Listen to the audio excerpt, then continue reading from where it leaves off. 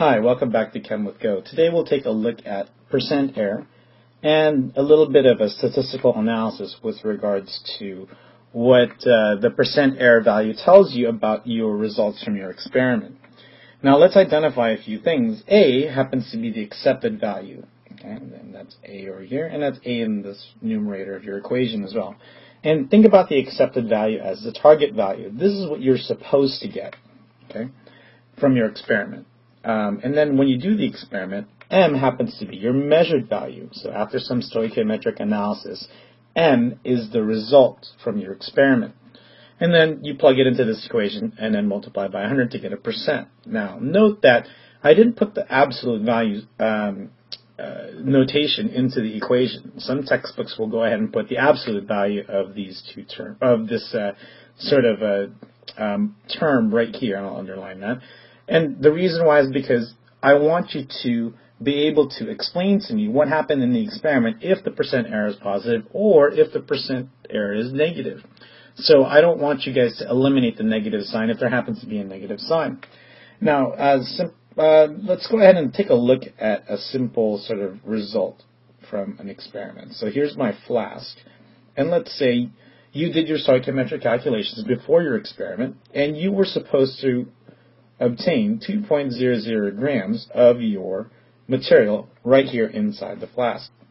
That's what you're supposed to get, and that's your target value. Now, let's say you did the experiment, and uh, instead of collecting exactly 2 grams, you got a little bit less.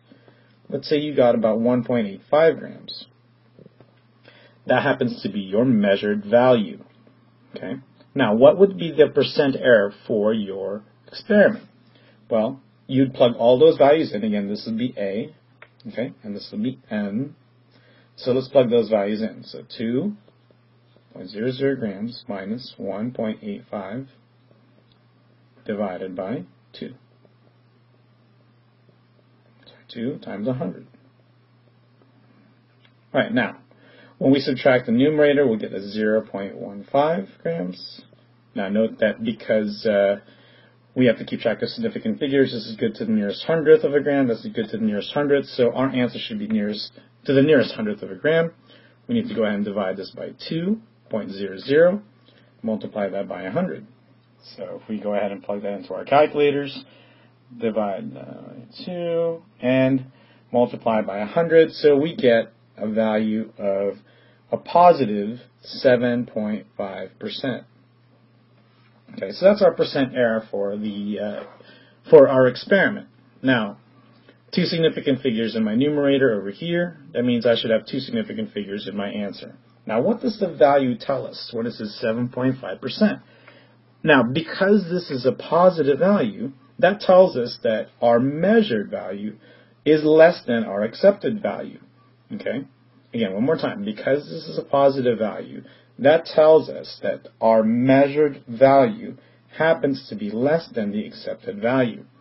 Now, I want you guys to think about that, okay? And this is part of the error analysis uh, after the experiment and part of the de debriefing after the experiment. What would cause you to have less of your uh, experimental result, okay, than what you were supposed to get?